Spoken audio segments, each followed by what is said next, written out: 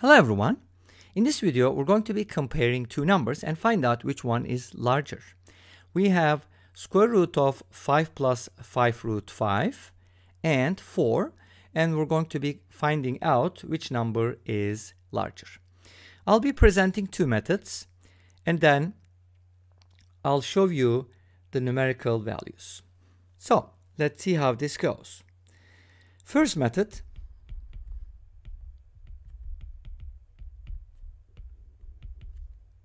For my first method, I'm going to do something a little unusual. I know some people are going to say, where do you get this from? I don't know, maybe from practicing these kinds of things, you kind of start getting it. So it's not too hard. If I can do it, you can do it too. So I'm going to square 2.2. And you know why I'm doing that?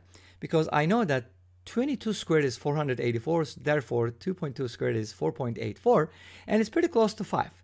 If you use 2.3, I think it's going to exceed 5, so I don't want that. I want to be below the 5. Why do I want to be below there? I don't know.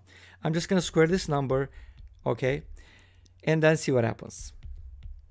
So this is 4.84, and obviously this is less than 5.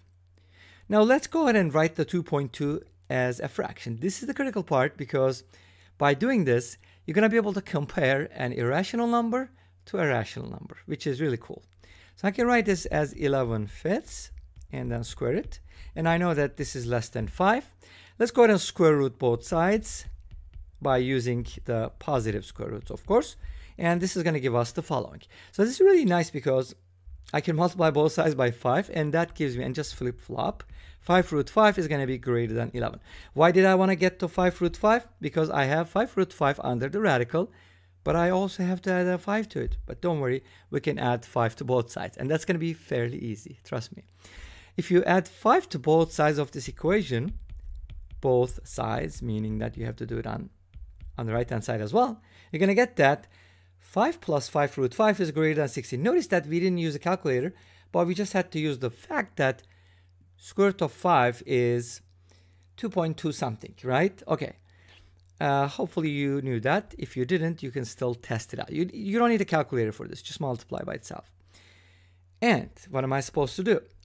I'm supposed to square root both sides and everything is positive, so it's all good. If you square root both sides, you'll notice that square root of 5 plus 5 root 5 is greater than 4. We were looking for the larger number. In this case, it happens to be the radical. Okay, great. Let's go ahead and take a look at the second method. Now, sometimes it's hard to find two methods or two or more methods for comparing numbers, but for this one, I was kind of fortunate enough to come up with another approach. So suppose x equals, I know there's going to be some similarities, but I consider, consider this a different method. So suppose x equals this and y equals that. I know some people just write these numbers in two columns and then they keep doing the same thing over and over and, until they can compare those numbers easily, right? So I'm going to do something similar, but I wanted to use substitution because substitution is cool. So square both sides you you'll hopefully get the idea. And then subtract 5 because I want to isolate the radical and then I'll square again. But whatever you did here do it here as well. So y squared minus 5 is going to be 11 awesome. You get the idea? Okay. Now I'm going to square both sides because that get rid of the radical. 5 root 5 is squared is 125 and 11 squared is 121 you see how close those numbers are pretty close. And now I can compare them, right? Obviously, x squared minus 5 quantity squared is greater than y squared minus 5 quantity squared. Now I can square both sides because notice that everything is positive and we can backtrace everything here.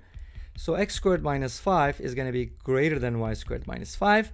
And then from here, x squared is going to be greater than y squared. Since x and y are both positive, x is going to be greater than y. So it's a little more algebraic approach or yeah, you know, a solution with algebraic flavor. So our radical wins again. The square root of 5 plus 5 root 5 is greater than 4. Yay, great, awesome. Now let's go ahead and, and by the way, if you can find a third method, that would be awesome. I don't I couldn't think of a third method, but I'm pretty sure you guys are smarter than me. So I'm pretty sure someone is going to come up with an alternative approach. I trust you on that. All right, let's go ahead and take a look at the numerical values now. So here's the numerical value of the square root of 5 plus 5 root 5. It's about 4.0225. And as you can see here, it's slightly larger than 4. And this brings us to the end of this video. Well, thank you for watching. I hope you enjoyed it. Please let me know. Don't forget to comment, like, and subscribe. I'll see you tomorrow with another video. Until then, be safe, take care, and bye-bye.